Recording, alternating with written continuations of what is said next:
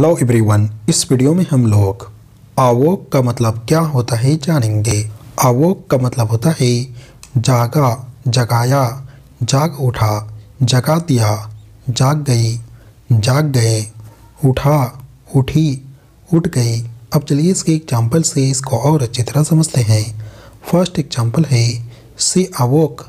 उसने जगाया, मी, मुझे, एट सेवन, सात बजे।